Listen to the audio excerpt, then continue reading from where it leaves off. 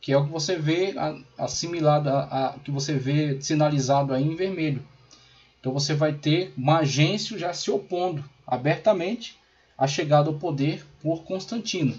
É Constantino que fará, diante dessa não aceitação, ele vai travar de fato uma batalha contra Magêncio, né, tanto para garantir, né, para assegurar a sua autoridade imperial, quanto mesmo para expandir os seus domínios, uma vez que ele entende que tem condições para isso. Então, a tetrarquia ele deixa esse negócio, né, ficou na cabeça de Diocleciano.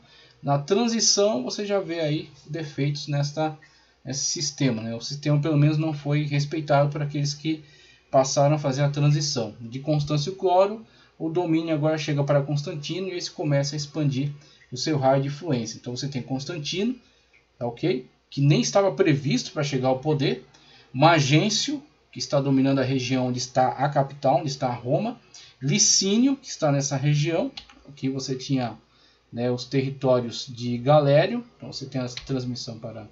Você tem Licínio e você tem Maximino. Maximino ainda dominando agora estas regiões. Maximino que estava aqui nessas regiões onde atualmente é Magêncio, ele então subindo agora né, para é, tornar-se Augusto, torna-se Augusto, passa então para Magêncio, né, essas regiões.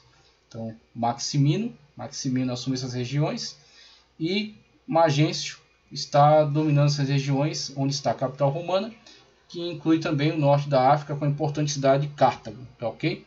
E a partir daí você vai ter movimentações políticas de Constantino para é, expandir ainda mais o seu poder. Antes de passar para aquele texto, que é o texto do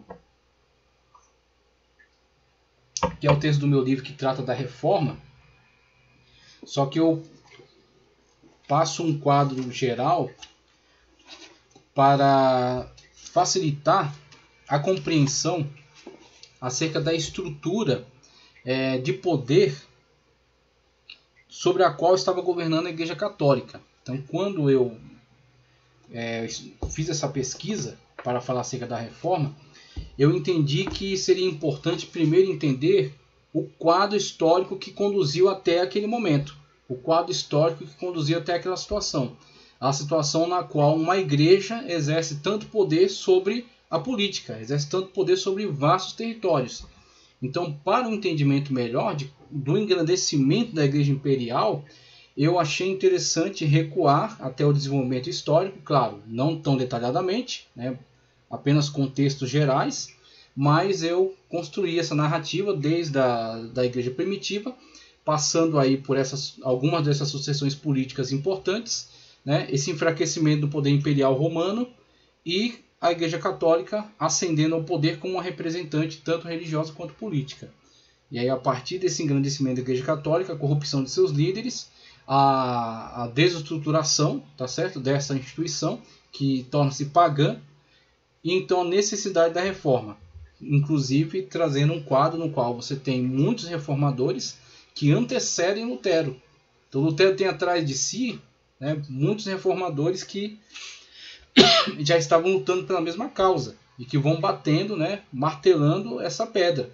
Quando Lutero chega, Lutero definitivamente né, consegue então, com apoio né, de muitos que também já estavam é, fatigados desse, dessa ingerência da Igreja Católica, então ele com este apoio e com certeza movido aí pela poderosa mão de Deus, a reforma então vai adiante, seguindo adiante, é, e chegando até nós, né, com essas igrejas que estão sempre buscando aí servir ao Senhor Espírito em verdade e que sempre tem que estar alertas quanto à necessidade de reformas.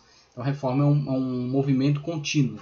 Sempre temos que estar é, analisando a, nossas, a nossa posição, as nossas atitudes, para saber onde necessitamos passar por reformas para estarmos de acordo com a vontade de Deus. Tá ok? Então, é por isso que eu tenho é, por isso que eu fiz essa pesquisa mais ampla e ela vai ser útil aqui para nós porque mostra exatamente esse desenvolvimento.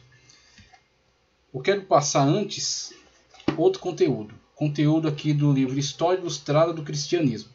Então, conteúdo do livro História Ilustrada do Cristianismo, a Era dos Mártires até é, a Era dos Mártires até a Era dos Sonhos Frustrados. A Era do dos Mártires até a Era dos Sonhos Frustrados. Justo L. Gonzalez, editora Vida Nova, tá ok? Editora Vida Nova. Então, livro aqui, História, História Ilustrada do Cristianismo, editora Vida Nova, a página, vamos ver qual é a página, de número 121. Página de número 121, vamos ver o que ele nos diz aqui sobre a Roma, sobre de Roma a Constantino. De Roma a Constantino. Vamos lá. Já antes da batalha da Ponte Milvia, Constantino estivera se preparando para assumir o poder sobre um território cada vez mais vasto. Esses preparativos consistiram em garantir-se da lealdade de seus súditos na Gália, olha só, aquela região né, onde seu pai administrava, ó, a Gália, ok?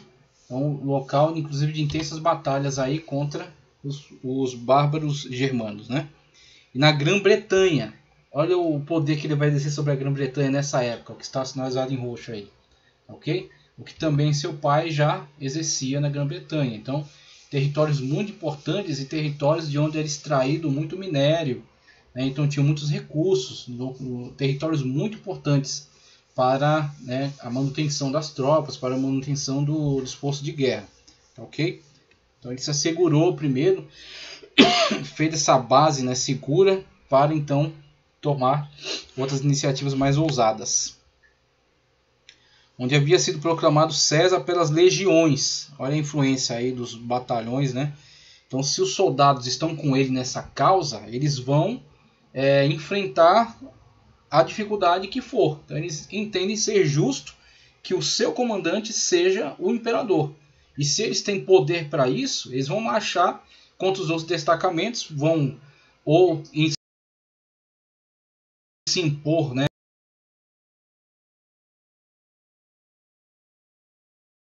Dos batalhões, né? Então, se os soldados estão com ele nessa causa, eles vão é, enfrentar a dificuldade que for. Então, eles entendem ser justo que o seu comandante seja o imperador. E se eles têm poder para isso, eles vão marchar contra os outros destacamentos, vão ou se impor né, pela sua força e fazer com que eles aceitem, ou partir para o pau mesmo, para a batalha e vencendo, né, se impor então como, como a força né, que vai dominar toda a região. E aí, claro, seus primeiros generais serão diretamente beneficiados e suas tropas também, de modo geral, conquistando aí, sendo presenteados com bons territórios, né, tornando-se os futuros latifundiários aí com vastas regiões para viverem sossegadamente. Então, tem toda essa aspiração, né, de poder.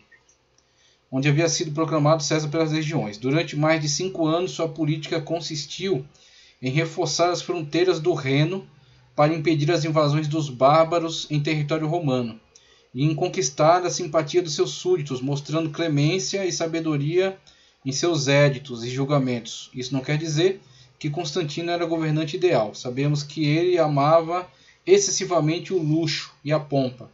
Em Tréveris, ele construiu para si um palácio enorme e luxuoso, Ó, tá aparecendo aí a Treveris, tá lá no norte, tá ok? Treveris. Enquanto os vinhedos de que dependia a vida econômica da cidade permaneciam inundados por falta de manutenção das obras de drenagem. Eles estão na região aí perto dos Países Baixos, né?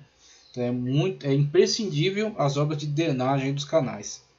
E ele parece não se importar muito com isso não.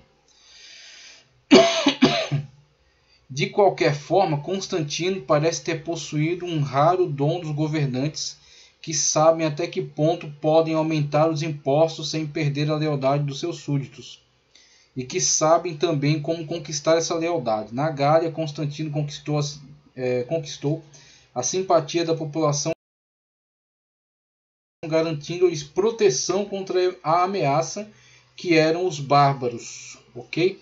E explorando suas paixões mais desprezíveis com sangrentos espetáculos no circo. E aí isso é para você entender a figura política que era Constantino, tá ok? Para você não cair na ilusão de achar que ele era, claro, ele vai passar por um ele ainda está né, anterior àquele, àquele sinal né, que ele presenciou. Então, ele de fato vai ter um envolvimento, uma aproximação com o cristianismo, mas não no sentido de tornar-se um, um, crente, tá? Então, ele vai é, entender, né? Vai entender que é, favorecendo o Deus cristão ele conseguia vantagens e essas vantagens soube aproveitar muito bem. Um cronista relata que morreram tantos bárbaros cativos nesses espetáculos que até os animais selvagens se cansaram da matança. Olha só, né? Em contrapartida, como hábil estadista, Constantino soube enfrentar seus rivais um por um, sempre garantindo que seus flancos estivessem protegidos. Assim, por exemplo, mesmo que sua campanha contra Maxêncio, ou que está aí uma agência, que está em espanhol, tá? Essa região em vermelho é, Maxense. Deixa eu encontrar aqui de novo, perdi. Vamos lá, campanha contra Maxense. Parecesse repentina, mesmo que parecesse repentina, né? Na verdade, ele estivera se preparando durante diversos anos, tanto no campo militar como político. No campo militar, Constantino tinha organizado seus recursos de tal maneira que somente precisou usar a quarta parte deles para enfrentar Maxêncio. Dessa forma, ele tomava precauções para que não houvesse uma grande invasão bárbara durante sua ausência, é, ou alguma sublevação, alguma sublevação em seus territórios da Gália, que inclusive era uma, era uma preocupação constante, tá?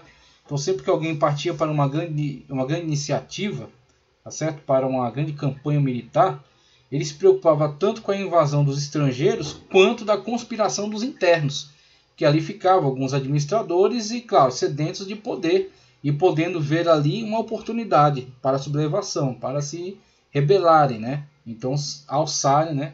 Esta essa iniciativa, né? De conquistar o poder. Deixando atrás de si o grosso de seus recursos, Constantino assegurava-se da estabilidade da sua retaguarda. Ao mesmo tempo, no campo político, era necessário fazer com que Licínio, o Licínio aí, sinalizado em azul. Então você tem Constantino desse lado primeiro preparando a base né, para poder tomar a iniciativa ousada de marchar contra Maxêncio, que inclusive rejeitava-o como imperador, rejeitava-o como Augusto, aliás. Né? Então rejeitava aí como uma autoridade dentro do império, uma vez que não estava prevista a sucessão dinástica. Ok? Então deveria ser passado para um outro. Mas ele foi aclamado pelas suas tropas e, de fato, é, abraçou essa ideia de chegar ao poder. Era necessário fazer com que Licínio, que governava a área imediatamente a leste da Itália, não decidisse aproveitar a luta entre Constantino e Maxêncio, né, ou Magêncio, para estender seus territórios. Na verdade, Licínio tinha certos direitos legítimos sobre a Itália e poderia bem esperar até que Maxêncio e Constantino enfraquecessem um ao outro para fazer valer seus direitos pela força. Para se aproveitar contra essa possibilidade, Constantino ofereceu a Licínio a mão de sua meia-irmã Constância, e ao que parece fez com que seu futuro cunhado fez com seu futuro cunhado um acordo secreto que estabelecia que Constantino e não Licínio enfrentaria Maxêncio. Dessa maneira, o flanco de Constantino estava protegido durante a campanha na Itália Porém, mesmo depois de selar essa aliança com Licínio, Constantino esperou até que este estivesse ocupado em uma guerra contra Maximino Daza, uma guerra contra Maximino Daza, antes de se aventurar na Itália. Olha aí, então é, você vê conforme o quadro que apresenta, é, Constantino, mesmo construindo né, estas alianças políticas e esta vantagem, ele espera ainda o melhor momento. Ele espera um momento no qual Maxêncio, ou como aparece aí Magêncio, né, esteja envolvido numa situação de guerra, na qual há deslocamento de tropas, né, há esvaziamento de recurso, e a atenção dele estará voltada então para estas batalhas. Então aquilo que era para ser um sistema harmônico virou a guerra de quatro, né? Então temos aí quatro é, imperadores disputando quem vai ficar com o poder total. E Constantino vai ser muito bem sucedido, porque consegue logo firmar uma aliança com Licínio. Então temos aí Maxêncio cercado por dois, é, duas pessoas que estão pactuadas, Constantino e Licínio.